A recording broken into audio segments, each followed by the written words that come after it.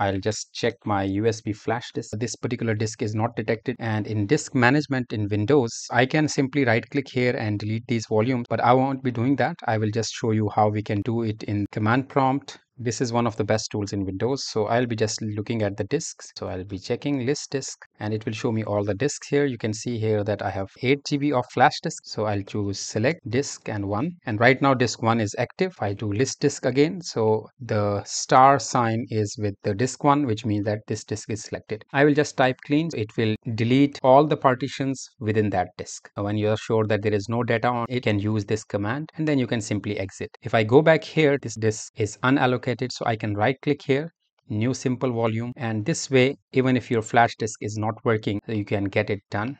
And I'll be just formatting it